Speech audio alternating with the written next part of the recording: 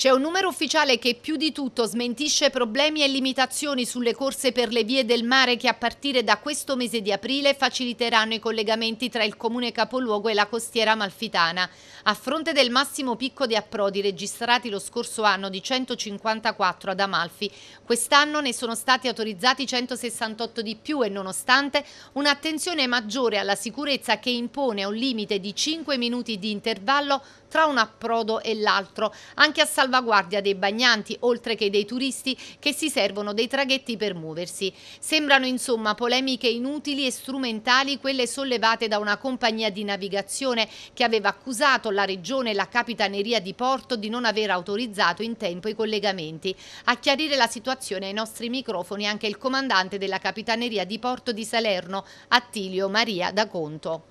Comandante, si è parlato di ritardi sull'attivazione delle vie del mare, così non è, tutto a posto, si parte? Assolutamente sì, dal 1 aprile la Regione ha emanato il decreto eh, sulla scorta delle autorizzazioni che rilascia la, la, Regione sulla base di un parere che si limita soltanto alla sicurezza della navigazione portuale che rilasciamo noi. La Regione quindi sulla scorta anche di questo nostro parere ha rilasciato le autorizzazioni emanate appunto con un loro decreto. Ecco, proprio a proposito della sicurezza, la Capitaneria ha uh, voluto regolamentare meglio gli attracchi e le partenze, uh, disponendo 5 minuti di uh, differenza tra ogni arrivo.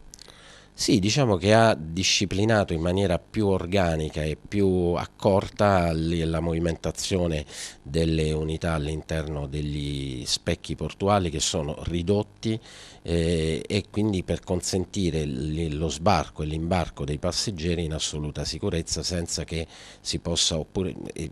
formare una calca oppure evitare la calca all'imbarco. Comandante, invece per quanto riguarda Positano dove sono ancora in corso i lavori al Pontino?